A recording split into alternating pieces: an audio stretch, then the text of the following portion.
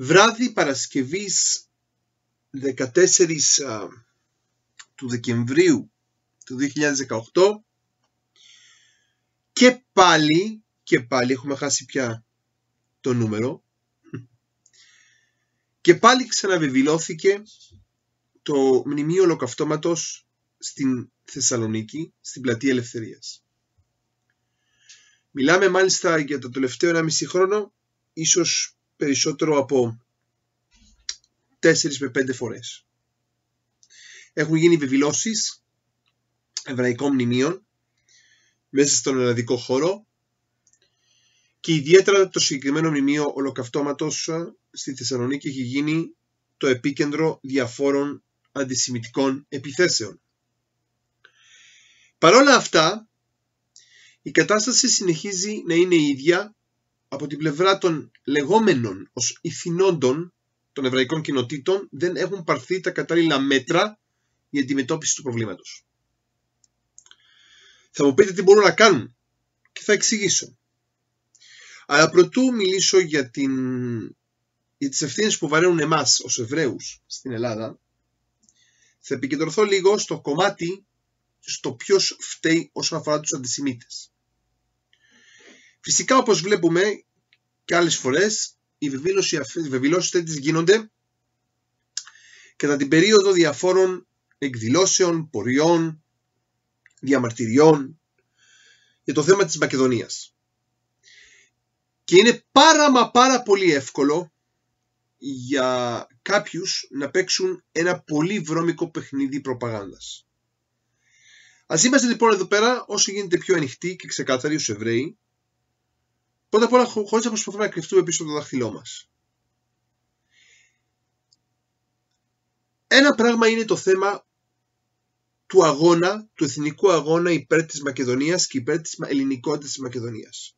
Άλλο όμως κομμάτι είναι το θέμα του αντισημιτισμού που υπάρχει σε ένα κομμάτι του λεγόμενου πατριωτικού ή δεξιού ή εθνικιστικού χώρου, πέστε το όπως θέλετε.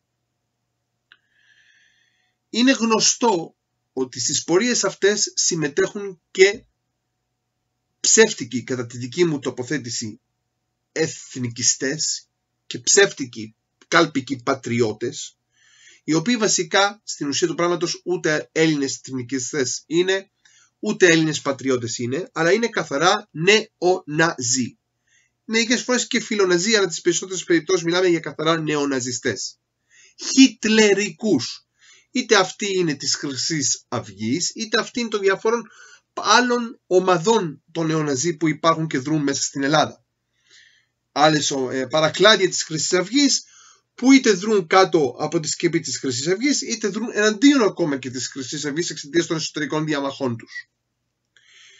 Δεν είναι εκεί το θέμα. Ξέρουμε ότι υπάρχουν αυτοί οι νεοναζί. Το ξέρουμε και ξέρουμε ότι οι νεοναζί και η Χρυσή Αυγή και οι υπόλοιποι νεοναζί δεν χάνουν ευκαιρία να χυμίξουν και να πάνω στο επάνω στην ατζέντα την πατριωτική, την εθνικιστική για να την καπελώσουν και να, φάνε, για να, δείξουν, να δείξουν στον υπόλοιπο ελληνικό λαό στον απλό Έλληνα πατριώτη και εθνικιστή να εμείς εδώ είμαστε, εδώ είμαστε, εμείς είμαστε οι σημαντικοί εθνικιστές και καλά της Ελλάδας που πολεμάμε τους αγώνες υπέρ της Ελλάδας κτλ. κτλ. Αυτά είναι γνωστά και δυστυχώς μέσα σε τέτοιες πορείες έρχονται και οι νεοναζί. Έρχονται και οι τραμπούκοι νεοναζιστές, οι οποίοι δεν θα χάσουν την ευκαιρία μέσα σε όλα να κάνουν και την αντισημιτική, αντισημιτική τους προπαγάνδα ή τις αντισημιτικές τους βεβηλώσεις. Αυτό όμως δεν σημαίνει ότι ο σκοπός που γίνεται η διαδήλωση, η πορεία ή το συλλαλητήριο ότι είναι αρνητικός από μόνος του. Άλλο το ένα, άλλο το άλλο. Όμως εδώ μπαίνει επίσης η ευθύνη ως ένα σημείο βέβαια στους οργανω... αυτούς που οργανώνουν αυτές τις πορείες και αυτά τα συλλαλητήρια να προσπαθήσουν να διώξουν μακριά τα ναζιστικά εκτρώματα και στοιχεία που προσπαθούν να χωθούν μέσα σε αυτές τις πορείες. Γιατί τελικά τις, τις καταφέρνουν να, να τους χαλάσουν την εικόνα από τη μία πλευρά και όχι μόνο αυτό, αλλά γίνονται έτσι τροφή στα χέρια της αριστερής προπαγάνδας, της αριστερής εθνομηδενιστικής προπαγάνδας. Και έτσι λοιπόν δεν μένω, δεν μένω καθόλου έκπληκτος που βλέπουμε και διάφορους τέτοιους νεοναζί. Άλλοι θα πούνε βαλτούς, άλλοι θα πούνε μη βαλτούς. Δεν με ενδιαφέρει κάτι διάφορους νεοναζί με κουκούλες και με τα νεοναζιστικά σύμβολα που και αυτά είναι βασικά είτε κέλτικα είτε νορδικά τα οποία τα έχουν κλέψει από, την, από εκεί και τα παρουσιάζουν και καλά ως εθνικιστικά οι οποίοι έρχονται και, και παρουσιάζουν τον νεοναζισμό τους μέσα στο απλό πλήθος και καλά δήθεν ως ε, πατριωτικό ελληνισμό ή ως ε, εθνικιστικό ελληνισμό κτλ. κτλ. Αυτό είναι το ένα θέμα. Το άλλο όμως θέμα είναι επίσης ότι εμείς ως Εβραίοι δεν πρέπει να αφήσουμε με κανέναν τρόπο τους αριστερούς να καπηλευτούν αυτές τις επιθέσεις για να αμαυρώσουν όλο τον αγώνα υπέρ της Μακεδονίας, της ελληνικότητας της Μακεδονίας. Γιατί οι αριστεροί παίζουν εδώ πέρα πολιτικά παιχνίδια. Και το παιχνιδάκι τους είναι, όχι επειδή τους ενδιαφέρουν, σιγά μην τους ενδιαφέρουν πραγματικά οι Εβραίοι. Τους ενδιαφέρει, τους ενδιαφέρει περισσότερο να αμαυρώσουν τα, τα συλλαλητήρια αυτά που έχουν μια αληθινή, σωστή βάση και καλά βάζοντας, κολλώντας στην ταμπέλα ότι όλοι όσοι συμμετέχουν σε αυτά, σε αυτά τα συλλαλητήρια είναι, και όλοι οι Έλληνες πατριώτες είναι ναζί και φασίστες και οτιδήποτε άλλο και αντισημίτες κτλ.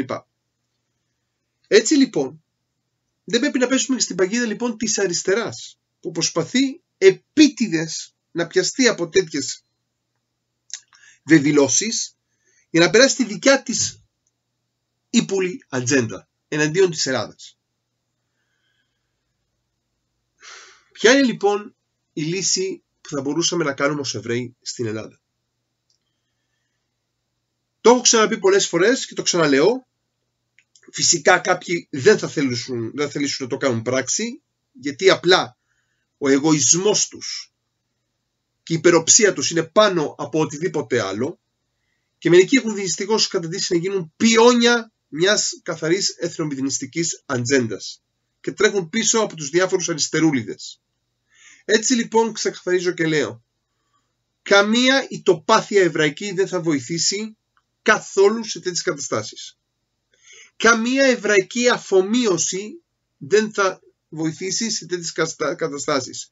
Και ούτε κανένα γλύψιμο στους διάφορους αριστερούς, αριστερίσκους, εθνομηδενιστές θα λύσει καμία κατάσταση. Το χειρότερο θα χειροτερέψει μια τέτοια κατάσταση ακόμα περισσότερο.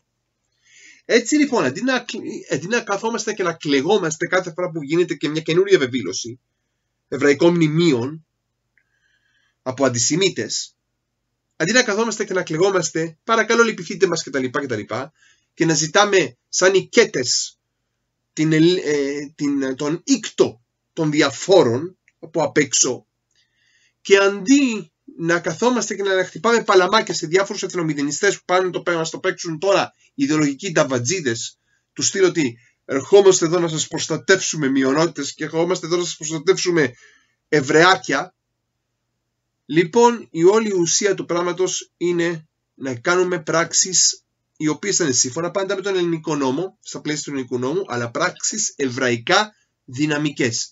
Πώς; Ξέρουμε για παράδειγμα ότι θα γίνει μία πορεία. Είτε αυτή είναι πορεία υπέρ της Μακεδονίας, της ελληνικότητας Μακεδονίας και ξέρουμε ότι μπορεί να μαζευτούν μέσα σε αυτές τις πορείες και διάφορα ναζιστικά στοιχεία, είτε ξέρουμε από την άλλη πλευρά ότι θα γίνουν κάτι πορείες της αριστεράς που είναι καθαρά εναντίον του Ισραήλ, και στις μεν και στις δε θα πρέπει να υπάρξει περιφρούρηση του μνημείου. Από ποιους, Από την ίδια την κοινότητα την εβραϊκή πρώτα απ' όλα και σίγουρα αν θέλει, αν θέλει και η ελληνική αστυνομία να συμμετέχει σε αυτό, η ελληνική αστυνομία να κάνει τη, τη, τη φύλαξη, ακόμα καλύτερα. Όμως χρειάζεται να υπάρξει και εβραϊκή παρουσία. Εβραϊκή παρουσία, ιδιαίτερα της εβραϊκής νεολαίας, η οποία θα περιφρουρήσει το μνημείο και ακόμα καλύτερα, αν πρόκειται για συλλαλητήριο υπέρ της ελληνικότητας Μακεδονίας, τη στιγμή που θα περιφρονεί η εβραϊκή νεολαία το μνημείο ολοκαυτώματος, για παράδειγμα στην πλατεία Ελευθερίας, αν γίνεται η πορεία στη Θεσσαλονίκη, θα πρέπει εκεί πέρα η εβραϊκή νεολαία επίσης να στέκεται με ελληνικές σημαίες. Ναι, και με πανό υπέρ της ελληνικότητας της Μακεδονίας. Για να δούμε εκεί, για να δούμε εκεί τους αντισημίτες και τους νεοναζί, αν θα έχουν τα κότσια να πλησιάσουν, που τα πολλά βλέπετε στους ίδιους Εβραίους να περιφρονούν και να δείχνουν το παρόν, και επίσης στους ίδιους τους Εβραίους να παίρνουν ανοιχτή θέση υπέρ, υπέρ της ελληνικότητας της Μακεδονίας. Φυσικά ένα αντισημίτη δεν θα το κάνει αυτό λιγότερο αντισημίτη. Ο αντισημίτης είναι καταραμένος και πάντα θα είναι αντισημίτης. Και θα ψάχνει διάφορους λόγους να είναι αντισημίτης. Το θέμα όμως είναι ότι ο αντισημίτης με αυτόν τον τρόπο θα χάσει αληθινό έδαφος. Αυτός και ο αντισημιτισμός του μέσα στην υπόλοιπη ελληνική κοινωνία. Κάνουμε και μια τέτοια κίνηση; Ποτέ. Ποτέ. Μα ποτέ. Περιμένουμε να γίνουν τέτοιες κινήσεις για, το, για μετά να αρχίζουμε να κλεγόμαστε. Και να λέμε άλλοι λυπηθείτε μας, άλλοι λυπηθείτε μας από εδώ και από εκεί. Πόσο μάλλον να αφήνουμε τους διάφορους διάφορα πιόνια τους όρος να χρησιμοποιούν όλα αυτά και καλά υπέρ μας δίθεν, αλλά εις βάρος μας αληθινά. Και ας να μην ακούσω ότι βγήκε το ΣΥΡΙΖΑ να κατηγορήσει την, την επίθεση, ενώ και καλά άλλα κόμματα δεν βγήκαν. Το ΣΥΡΙΖΑ είναι ένας από τους χειρότερους εχθρούς του εβραϊκού λαού και του εβραϊκού κράτους, ασχέτως αν ο Τσίπρας προσπαθεί να το παίξει τώρα σύμμαχος με το Ισραήλ, αλλά είναι στην ουσία του πράγματος ένας άνθρωπος που δεν μπορεί να τον εμπιστευτείς. Δεν μπορείς να τον εμπιστευτείς. Δεν γίνεται από μια πλευρά να είσαι σύμμαχος του Ισραήλ στρατιωτικά, οικονομικά κτλ. Και, και από την άλλη πλευρά να αφήνεις το ίδιο σου το κόμμα κάθε τόσο και λιγάκι να, να, να, να δαιμονοποιεί το εβραϊκό κράτος υπέρ του ψευτοπαλαιστινιακού εχθρού και, και των Αράβων τρομοκρατών. Δεν γίνεται κάτι τέτοιο. Και εμείς τουλάχιστον ως Εβραίοι στην Ελλάδα θα πρέπει να κρατήσουμε μία σταθερή στάση σε αυτό. Σταθερή και στανερή στάση. Ότι εμείς με αχθρούς του Ισραήλ δεν έχουμε καμία σχέση και δεν θέλουμε κανένα φιλοεβραϊκό και δίθεν σχόλιο από ανθρώπους οι οποίοι εχθρεύονται το εβραϊκό κράτος. Με τον έναν ή τον άλλον τρόπο. Δυστυχώς όμως ξέρω ότι τέτοιες κινήσεις δεν πρόκειται να γίνουν γιατί για να γίνουν τέτοιες κινήσεις αληθινές εβραϊκές